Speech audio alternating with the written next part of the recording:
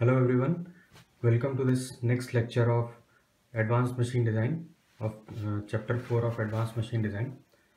And today in this lecture we are going to discuss uh, a small example to calculate the principal axes uh, in case of unsymmetrical bending and to determine the uh, moment of inertia about those principal axes.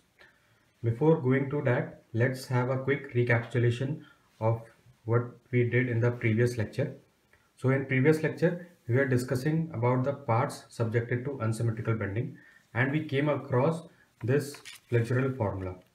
Okay, this flexure formula is nothing but uh, which we uh, see from the uh, bending equation that is sigma by y is equals to m by i is equals to e by r. So this is the beam, this is in xy plane, the length of beam is in along the x-axis and this is its cross section and moment mz is acting uh, about this beam. Okay this moment can be caused uh, if the, uh, by many number of ways.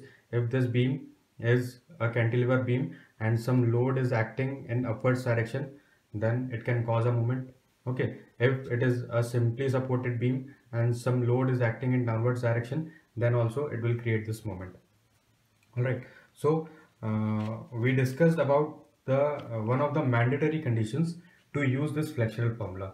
What was that condition? That this can be used uh, if there is a plane of symmetry in the cross section and we saw that uh, y-axis represents the plane of symmetry.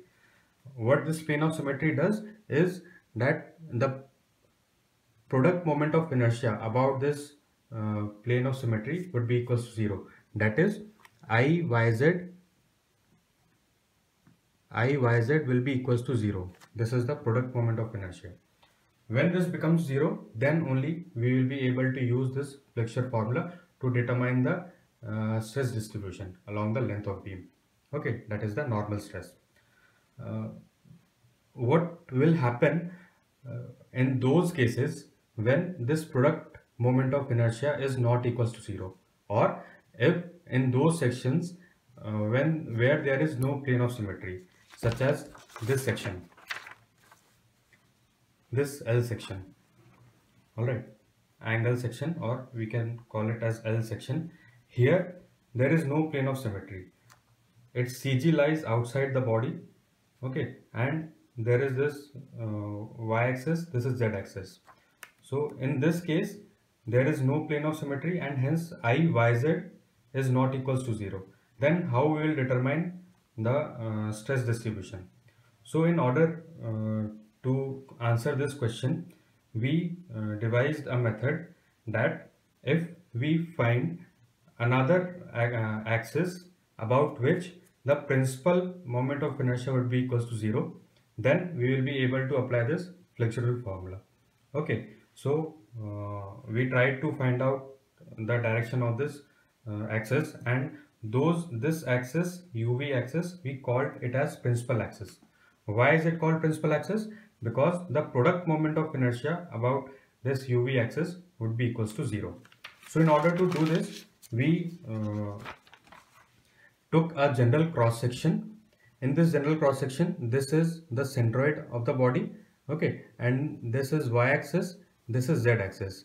We uh, said that this uv uh, axis system would be inclined at an angle alpha uh, from the positive z axis.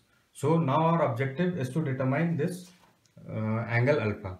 Alright, so we took a small elemental area dA. The distance of dA from z axis is y. The distance of uh, elemental area dA from y axis is z okay and these two distances will be known to us. Now in order to determine in order to determine uh, moment uh, this uh, angle alpha we need the value of moment of inertia about this new axis system okay uh, which we are calling as principal axes okay. So we need to know the distance v and distance u. What is distance v and u uh, it is the distance of elemental area dA from axis U is V okay and the distance of elemental area dA from axis V is U. So by the help of geometry, we determined that U is equals to Z cos alpha plus Y sin alpha and V is equals to minus Z sin alpha plus Y cos alpha. Uh, this we determined by uh, using this uh, simple example which we discussed in the last lecture. Okay. So we determined the value of uh, IU and IV. Okay. IU was IZ plus IY by 2 plus IZ minus IY by 2 cos 2 alpha minus IYZ sin 2 alpha and the value of IV was coming out to be IZ minus IZ plus IY by 2 minus IZ minus IY by 2 cos 2 alpha plus IYZ sin 2 alpha. So the difference in these two equations is the uh, plus minus sign interchanges over here and the value depends. So this is very similar to the stress invariance which we studied in the Mohr circle in strength of materials. Okay, and uh, this applies if we add this equation we will find that IU plus IV will be equals to IZ plus IY because this will get cancelled and this will make one single entity. Okay, so this uh, said that the uh, summation of moment of inertias is are constant irrespective of uh, direction uh, in that cross section irrespective of the direction okay so we determine the uh, moment of inertia about these principal axes now we want to determine the product moment of inertia. Product of moment of inertia uh, was determined by this equation that is iz minus iy by 2 sine 2 alpha plus iyz cos 2 alpha. Now our ultimate uh, objective was to determine this angle alpha that how much I need to rotate this uh, how much I need to rotate this yz axis such that I reach to another axis system in which this product moment of inertia would be zero. Okay so we need to determine this angle this angle was determined by uh, its very this angle was determined by equating IUV equals to 0. So this equation was equated to 0 and we found out this angle and we replaced alpha by alpha 1. Okay, so this tan alpha 1 would be equals to minus 2 IYZ by IY minus IZ minus IY.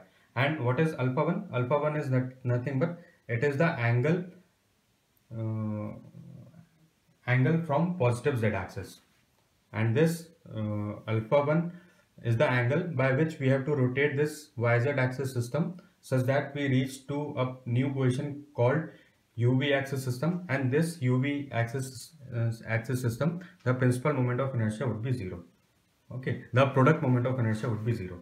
Okay. So we determined angle alpha 1 now uh, in order to determine the stresses in order to determine the stresses uh, we uh, what we did was we uh, found out the components of this mz uh, in terms of uh, u and v directions. So uh, we found that mu comes out to be the uh, mu comes out to be mz cos alpha and mv comes out to be minus mz sin alpha. Okay uh, this we discussed in the last lecture. And since uh, these are the principal axes that is product moment of inertia is equals to 0 we can determine the stresses by using the flexural formula. And this is what we did over here.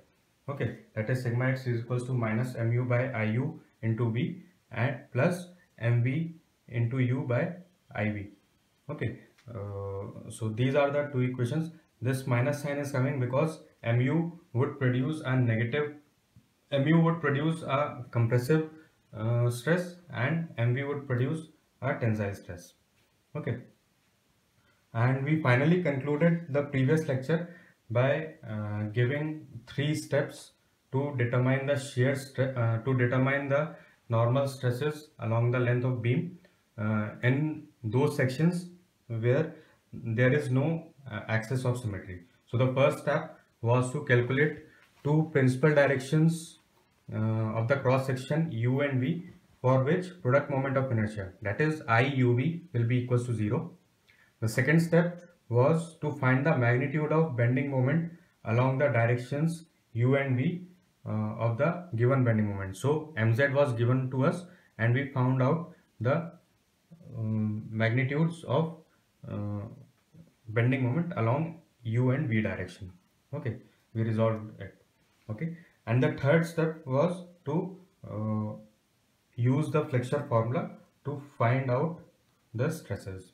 Okay, so this is what we did in the last lecture. So this is the example which we are going to discuss in this lecture.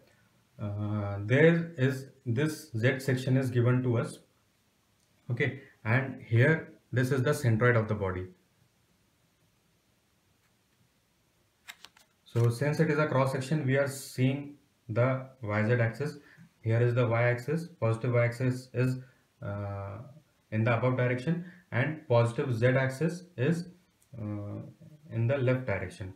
Okay, uh, the length of this flange is A, the thickness of this flange is T, the total length of this web is 2A and the, again the length of this flange is A and its, its thickness is T. There is a condition given to us that the value of A is far more greater than the value of T. Okay, so this is a type of section given to us, right? And we can see that there is no plane of symmetry in this. If what is meant by plane of symmetry, if you try to flip uh, this about the z uh, about the y axis, uh, it will not coincide. Okay, and if you try to flip this about the z axis, there is uh, it will not overlap. So hence there is no plane of symmetry in this problem. So how we will determine the stresses that we will see later. The first step is to determine the IY, IZ, IYZ uh, angle, uh, the angle alpha 1 and hence after determining all this we will determine uh, IU and IV. Okay. So first let's determine the uh, I, IY, IZ and IYZ. So in order to determine IZ, uh, it is very uh, simple. Okay. You might have studied this in your previous courses. So uh, how to determine IZ? IZ would be determined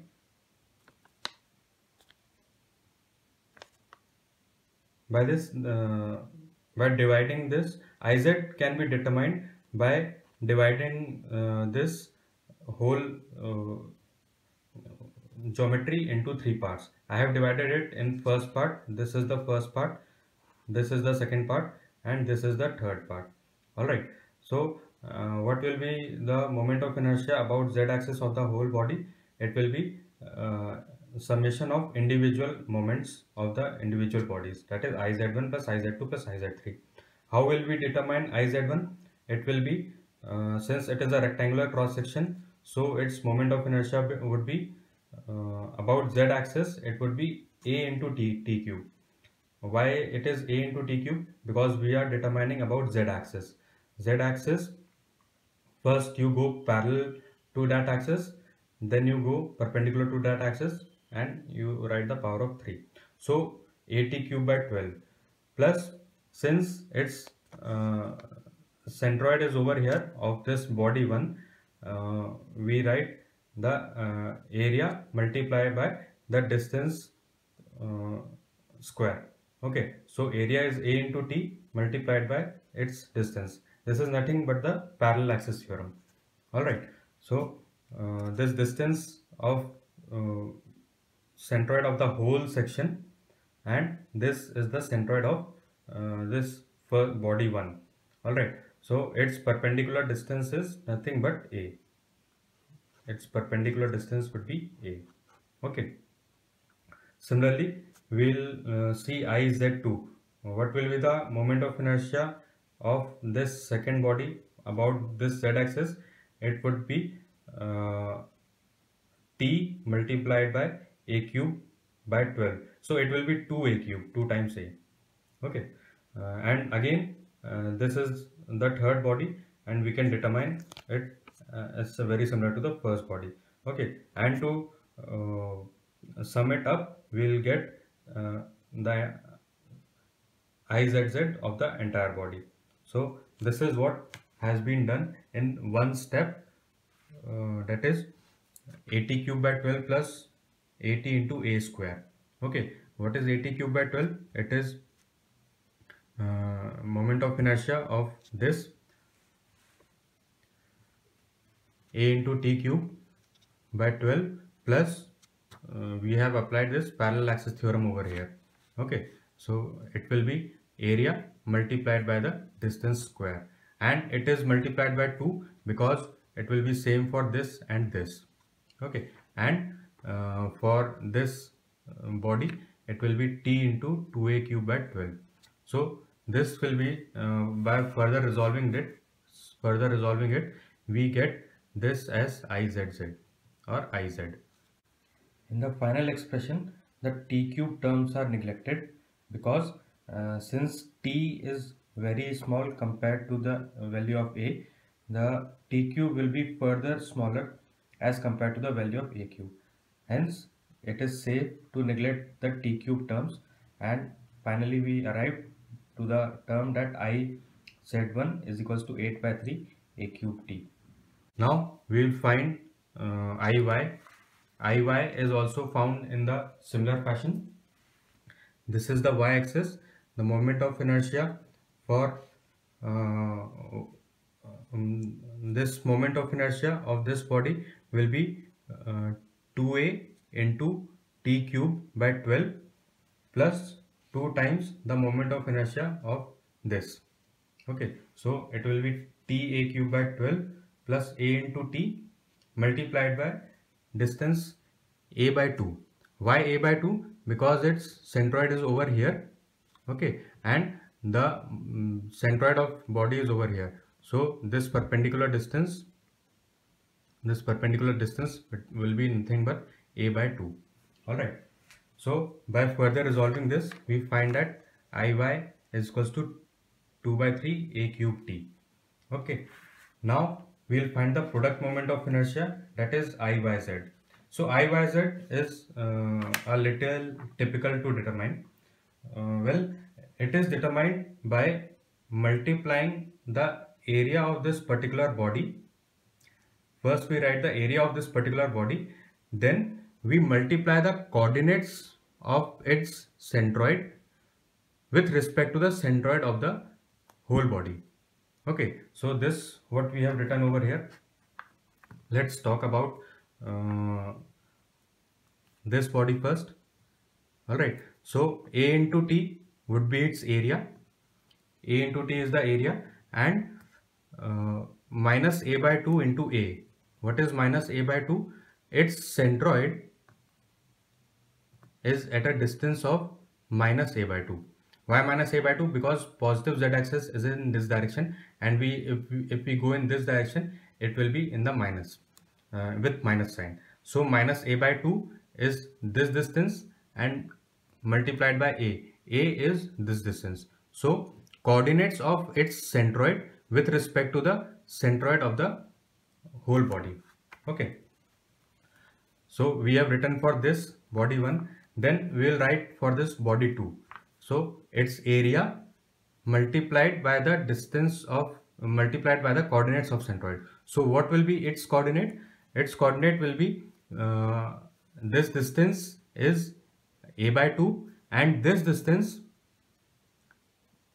this distance would be minus a okay why minus a because we are going in minus y direction see a by 2 is for z and z is positive so a by 2 multiplied by minus a. Okay. And then this there is this third body. This third body will not contribute in the product moment of inertia. Why? Because this body is centroid and entire body centroid are lying uh, on the same place. Okay. So that distance will become 0. That's why this 0 is written over here. So further resolving this, we get Iyz is equals to minus a cube into t. Alright. Uh, now we'll find the value of alpha 1 okay so value of alpha 1 would be found how uh, we will put i uh, uh, we have this equation that is tan alpha 1 is equals to minus uh, 2 iyz by iz minus iy okay so uh, we'll put the values of iyz uh, iz and iy and we'll calculate it. So by calculating it we found that 2 alpha 1 is equals to 1 and hence the value of alpha 1 is 22.5 degree. So what is meant by this? The value of alpha 1 is 22.5 degree uh, that this is the yz axis okay? And we have to go uh, in the positive direction by 22.5 degree. There we'll find and uh, there we will plot this uh, uv axis system okay? So these are the principal axis. These are the principal axis. And why are they called principal axis? Because uh, iuv will be equals to 0 okay. So now let's calculate the uh, moment of inertia about these uh, principal axis okay. So we have this formula. We uh, have this formula which we already calculated. Okay. Iu and iv okay. So we'll apply those formula and uh, determine the value of IU came out to be 2.357 a cube t okay? And uh, we can use the formula of IV to determine uh, its value. But since we have this uh, equation so we'll use it that the IV plus IU is equals to IY plus IZ that is the sum of moment of inertias uh, remains constant irrespective of the direction. All right.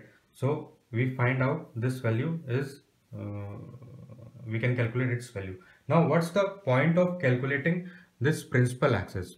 See uh, when we draw this uh, we have found this angle 22.5 degree and we have rotated this angle.